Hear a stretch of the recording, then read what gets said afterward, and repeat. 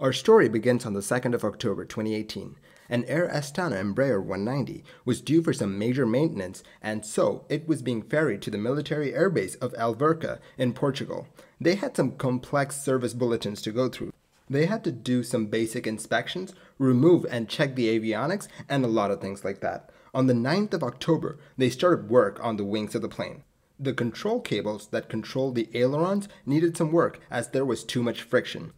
Ailerons are small control surfaces on the trailing edge of the wing and it helps the plane to bank. They swapped out the stainless steel cables for cables made with carbon steel. They also did some general maintenance on the plane, greased a few pulleys, adjusted a few things, that sort of stuff. On the 26th of October, the fixes were done and the plane was powered on, but there was an issue.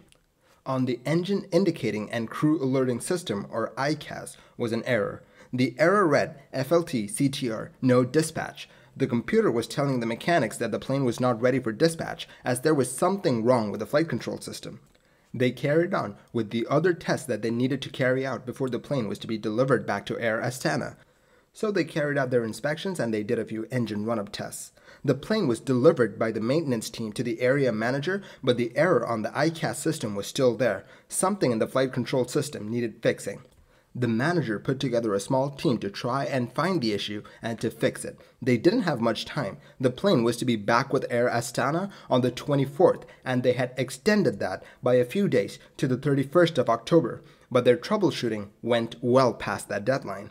On the 11th of November, the plane was to be flown back to Minsk from the Alverca airbase. The flight crew went over the airplane to see if all was in order. The flight crew found an issue with the ventilation in the avionics system and a small glitch with the hydraulic system. This was fixed by the maintenance crew and they taxied out to the runway to begin their flight to Minsk. The plane had six occupants, including the three pilots. It was a rainy day and clouds were low to the ground.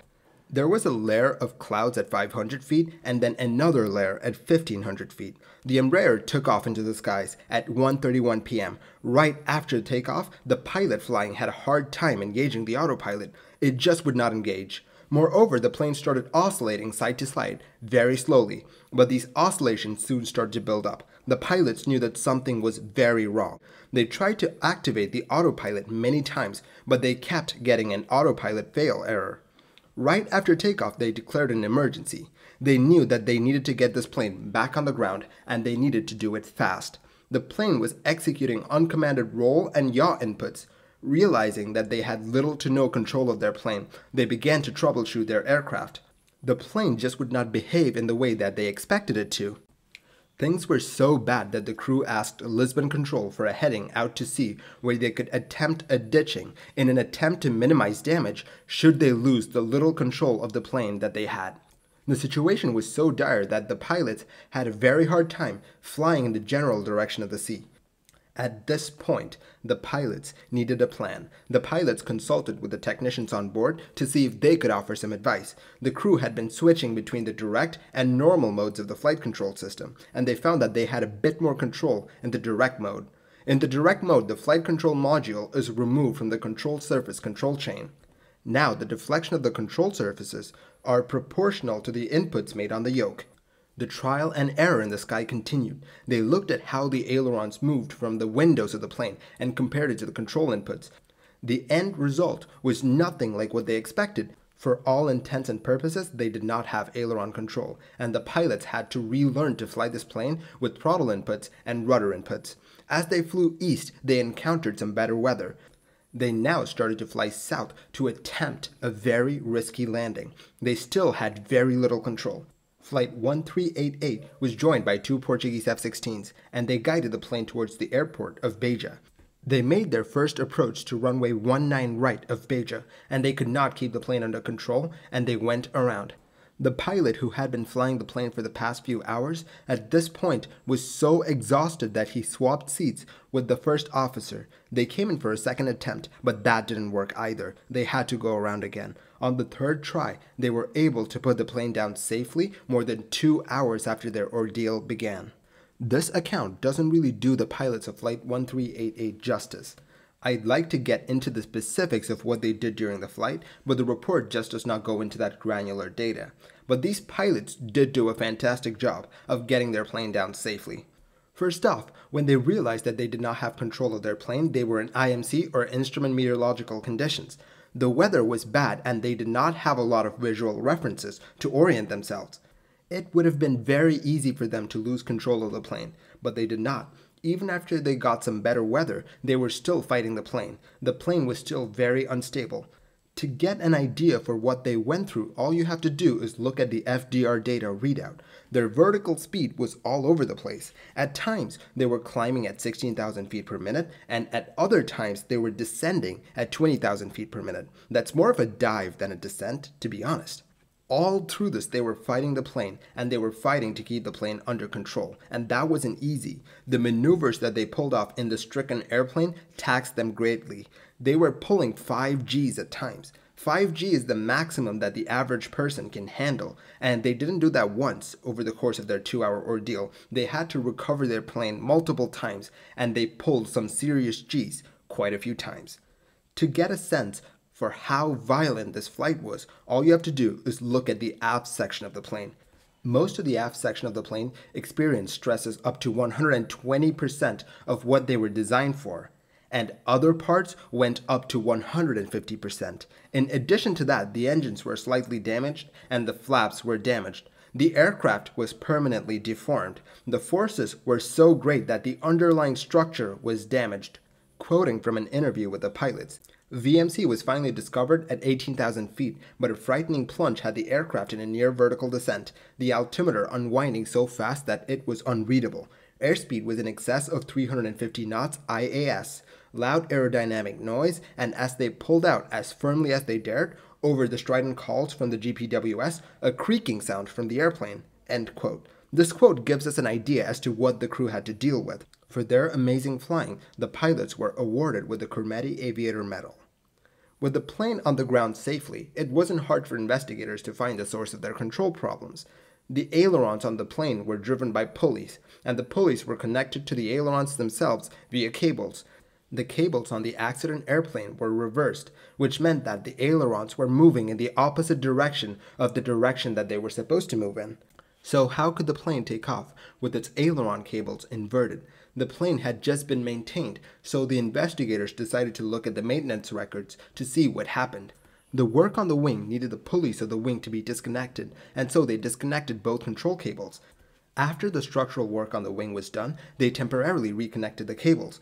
The temporary reconnections were done by personnel without relevant experience. They found it hard to follow the instructions given by the manufacturer, and the figures given were quite complex. The investigators also found some inconsistencies here. According to the documentation, this work was done on the 17th of October, but on the 17th of October, the plane was not in a state where this work could be done.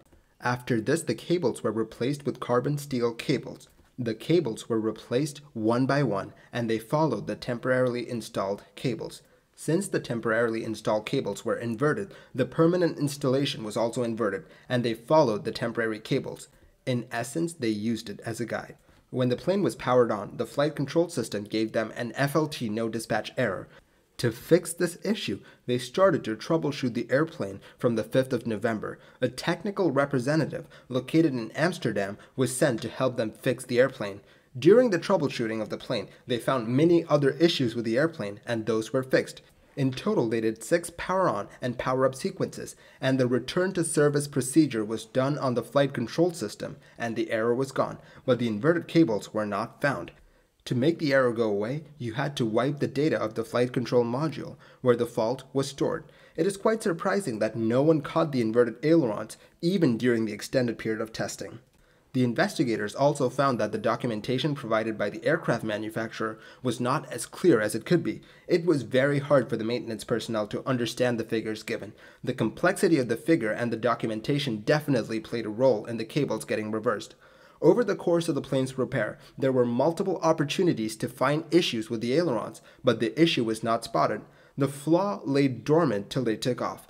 Another issue was the plane's design itself. The design allowed for the cables to be reversed. A good design would have made it impossible for the cables to be reversed. Now you might be wondering why the crew just didn't use opposite inputs to go where they wanted to. The Embraer 190 has roll spoilers in addition to ailerons.